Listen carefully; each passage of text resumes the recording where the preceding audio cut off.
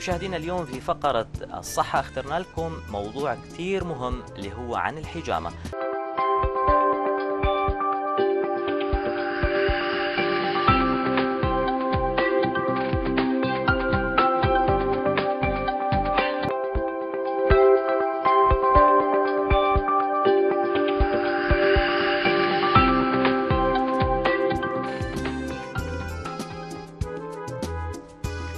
ضيف صباح الورد اليوم هو الدكتور عبد الناصر التوحيد أخصائي العلوم الطبية.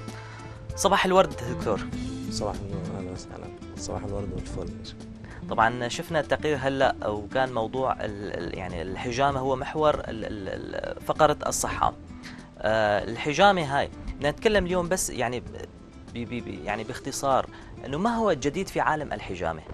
والله حاليا الجديد في عالم الحجامة يعني حاجة تعتبر جميلة جدا وإن شاء الله تكون هي الباب الفتح بداية الاعتراف إن شاء الله الحجامة وتدريسها في كليات الطب مستقبلا بإذن الله. اللي هو ربط أجهزة أحدث أجهزة قياس الطاقة اللي هو جهاز الأكيوجراف بالشغل مع مع الحجامة. كان الأول مثلا الإبر الصينية مثلا أول ما طلعت كان مش معروف لها هوية اتحاربت فترة لم يعترف بها ولم تدرس في كليات الطب في الدول العربية فترات كبيرة بسبب عدم الاقتناع. لما بدأت تطلع أجهزة فحص الطاقة وطاقة أعضاء الجسم وتعرف إن لها تأثير جيد جدا في تنظيم تنشيط الطاقة وتظبيط الطاقة بتاع الجسم بدأ الاعتراف بها وبدأت تدرس. فلما عملنا ربط بين الحجامة آه وعملنا حجامة على نقاط الإبر الصينية أو نقاط تشبه نقاط الإبر الصينية آه ادتنا نتائج مذهلة. فكان الكلام الأول بيتقال إن هو يعني إيه يعني roughly كده بدون بدون دراسات. آه لما ربطنا جهاز ال AcuGraph وبدأنا نعمل فحص لل للمريض أو الراغب في الحجامة قبل الحجامة بيقدر يعرفنا مثلا بنشوف ال 12 meridian بتوع الطاقة بتوع الجسم. يعني رئتين غشاء القلب والقلب الامعاء الدقيقه الطاقة البحر الطاقة أو طاقة ثلاثية القولون الطحال الكبد المثانة البولية والمرارة المعدة. بيقدر يعرفنا أي عضو من الأعضاء دول طاقته مرتفعة أو منخفضة أو split غير متوازنة.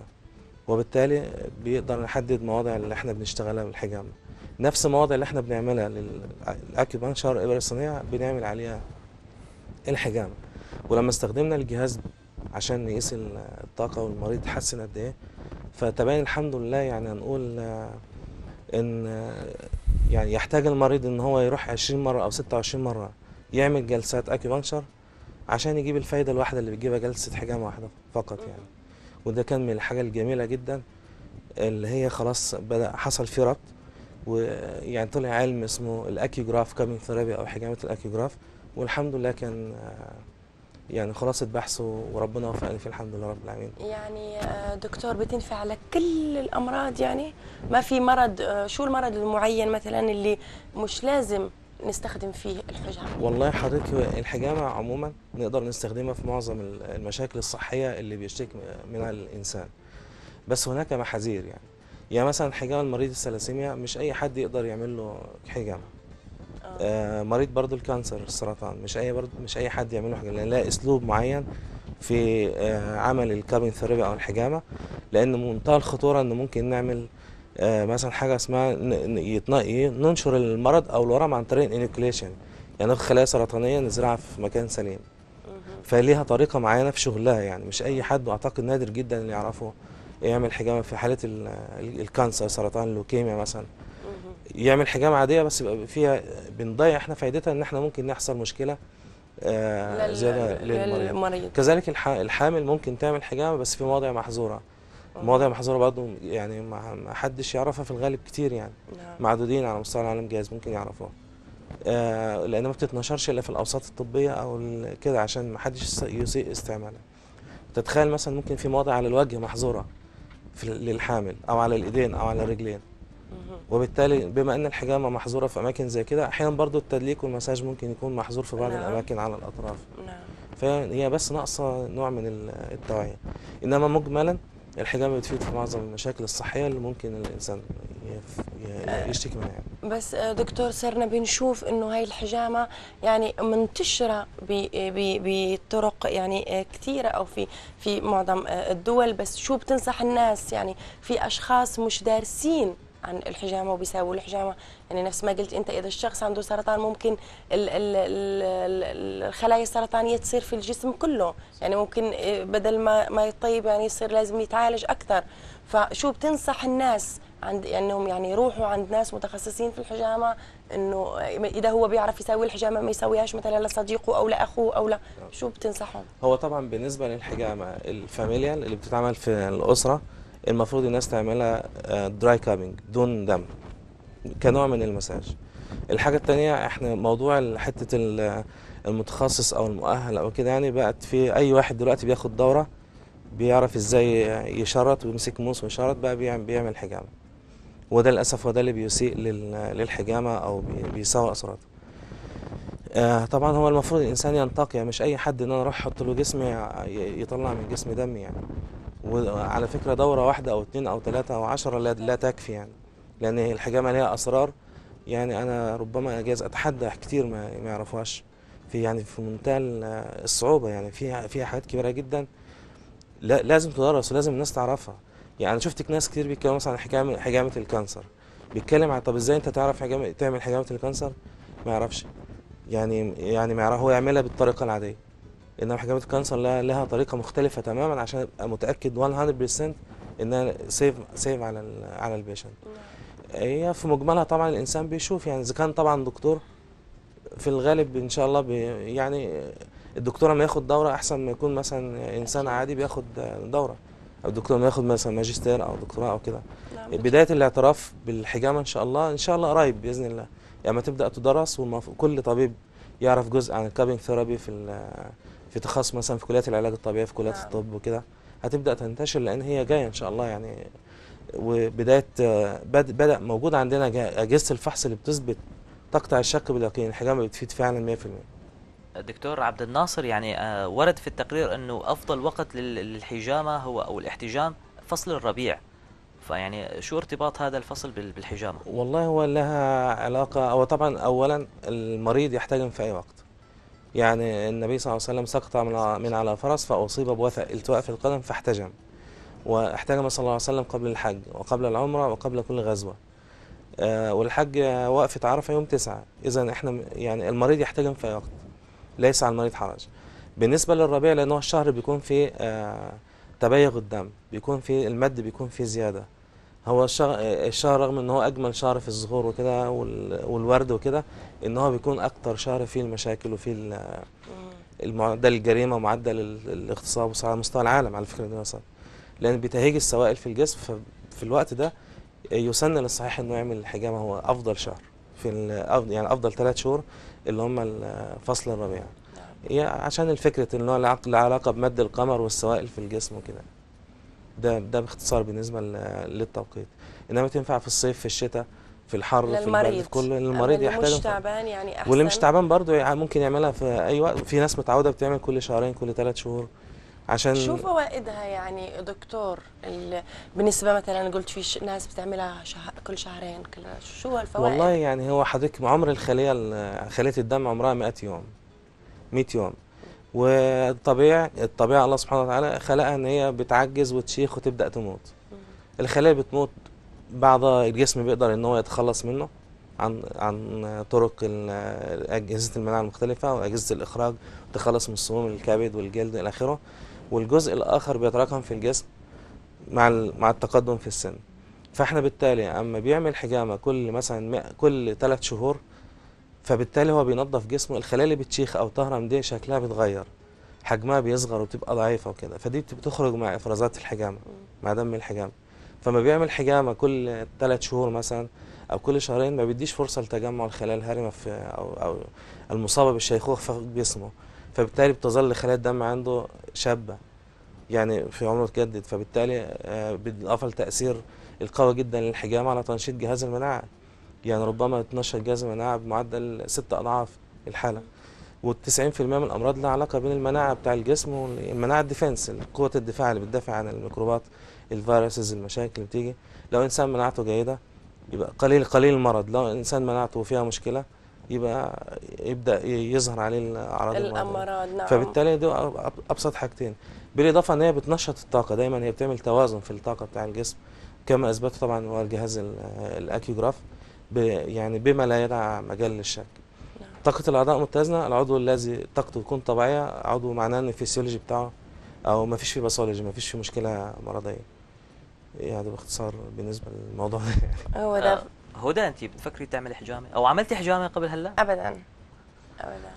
والله فكري مش هتندمي. يعني لا عندي آلام في الظهر يعني دائما بس آه، خفت. أنا لما شفت الفيديو شفت التقرير البارح ما لا ال- وبيفضل العلامات على طول لا العلامات؟ بتاخد وقت بتروح. والطريقة؟ والطريقة اللي إحنا بنشرط بيها طريقة حتى الجرح ما يسيبش أثر. وفي معلومة مهمة جدا بقولها لكل الناس اللي بيعملوا حجامة. جرح الحجامة لو ساب سكار ندبة أثر يبقى الجرح غلط. دخل أزيد من اللازم. يبقى إحنا عدينا طبقة الإبيديرمز اللي هي الطبقة اللي بتعمل آه، اسكار أو علامة. إنما إحنا لو عملنا جرح الحجامة صح وخدشنا الطبقه السطحية من الجلد فقط اللي هو ال epithelial layer of the skin في الحالة دي إحنا مش عمرها ما تسيب اثر عمرها ما تسيب scar إنما الكدمة اللي هي مكان الكاسه المدورة دي ecchymosis كدمة عادية بتاخد عمرها. في منها اللي بتبقى لونها pink في منها اللي dark brown بتوصل أحيانا black سودا خالص. وبتاخد وقت وبتروح. كدمة كأن واحد بس كدمة طبية يعني. وبتفضل كؤوس عفوا عفوا هدى. عندي سؤال خطر في بالي تفضل. الحين. إنه كؤوس الحجامة هاي يعني هي مصنوعة من البلاستيك ولا من الزجاج؟ وهل يعني بتتغير؟ لازم تتغير. آه هي في منها مصنوع من الزجاج اللي بيتعمل بيه ال traditional cupping الحجامة الشعبية اللي كان بيستخدم زمان بالنار. بس أنا ولا أنصح بيها دلوقتي خلاص يعني.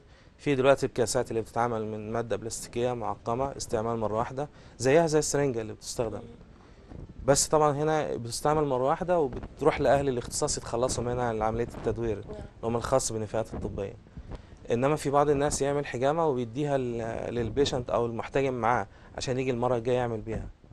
طبعا ده بمنتهى الخطورة وده بيحصل في معظم الناس اللي بيعملوا حجامة بينقل ل- ل- عدوى الأمراض صح ممكن؟ تنقل العدوى نعم. لل- للشخص والشخص ممكن طبعا مفيش وعي طبي ممكن يعمل بيها لقريبه أو كده عشان مثلا نعم.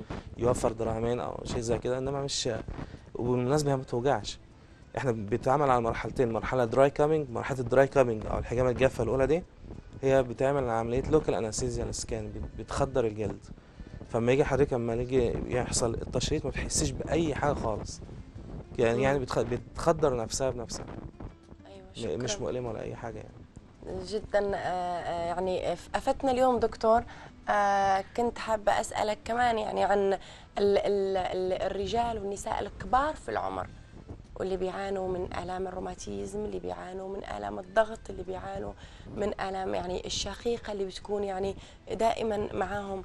هل يعني بتنفعهم ال- والله مبدئيا بالنسبة للعمر الحجامة الطب- يعني والأطفال الصغار يعني مثلا إذا في بيبي يعني تع- تع- تعبان يعني مريض فهل بتنافع بتنفعوا الحجامة؟ إن شاء الله. مبدئيا بالنسبة لل- للعمر أو لسن الشخص المحتجم بالنسبة للحجامة الطبية تنفع من سن سنتين لغاية 100 سنة ملهاش ملهاش عمر محدد. بالنسبة لحالات الضغط الروماتويد ألام العظام الأشياء الرسول صلى الله عليه وسلم الصداع الشقيقة الرسول صلى الله عليه وسلم ما اشتكى أحد اليه قط صداع في رأسه إلا قال له احتجم نعم. طبعا لما يجي لو لما العلم الحديث بدأ يدخل وشاف فوائد الحجامة. وحط خرائط لكل مرض أو كل مشكلة بيعاني منها الجسم أصبح الموضوع بقى يعني بقى في منتهى السهولة وبيجي ناس مثلا بيعاني من شقيقة من خمس سنين 10 سنين 20 سنة وجلستين ثلاثة حجامة بيخلوه إنسان خالص مريح طب الحجامة رقم واحد على فكرة فائدتها الام العظام معظم 90% من الام العظام إلا التمزقات في الأوتار. ودي من. الحاجات الممنوع الإنسان يعمل على على مكان فيه تمزق في ال- الوتر. في الوتر tendon tear وي- ويعمل فوقه حجام أو تمزق في العضلة مثلا. ويعمل عليه. ف وده برضو بيمشي مع ال traditional cupping أو الحجامة الشعبية بيروح مثلا آه، واحد يحس يقول مثلا أنا عندي الام في المنطقة معينة وهو يكون عنده تمزق فيروح الحجام يعمل له على نفس المكان. فالحالة تزداد سوء. برضو في ممنوع ممكن ممنوع عمل الحجامه على المكان مباشرة اللي فيه ال disc أو فيه الغضروف. في طريقة معينة. جنب الأماكن عشان نعمل ضغط سلبي حوالين الفقرات إنما ممكن لو اتحطت الكاس على مكان الغضروف نفسه ممكن تسحبه أكتر أو تخربه أكتر فهي بيبقى لها أصول بتفيد في الضغط في السكري في حاجات كتير ولها فوائد عظيمة جدا جدا لمريض السكري. آه لمريض السكري طبعا مع المحاذير معينة لها احتياطات معينة لازم إن هي تدرس وتعرف بالظبط. نعم. وإزاي ما يقدرش ينقل عدوى أو يضر مريض. السكري أو يسبب له مشكلة. إنها بتفيد في تنشيط الكبد تنشيط البنكرياس وبالتالي الكبد هو من الكبد والبنكرياس هما العضوين الأساسيين في حرق السكر أو في التخ... في تنظيم عملية ال... آه، اختزان أو إحراق السكر في الجسم. فبالتالي لما بننشط الكبد بياخد نسبة من السكر يخزنها جلايكوجين فيبدا يقللها البنكرياس يبدأ يفرز الإنسولين يبقى يقلل نسبة السكر آه، الكلام ده في اللي هم المرضى اللي عندهم type 2 diabetes آه، دولت يعني نسبة شفاء عندهم تبقى عالية جدا لو تابع على الحجامة والنظام الغذائي type 1 بي- بيعيش مع السكر كأنه مفيش حاجة بتحافظ على الكلية والعين والرجل. يعني لا فوائد عظيمة إن شاء الله. دكتور عبد الناصر شكرا لك. افدتنا حقيقة في في فقرة الصحة والبرنامج الصباحي. يعني نحن. يعني شاكرين لك تواجدك معنا. جزاكم الله خيرا. أنا شاكر جدا برنامج صباح الوقت صباحك. مشاهدينا الكرام بعد فقرة الصحة نشكر الدكتور على هذه النصائح الرائعة على الحجامة.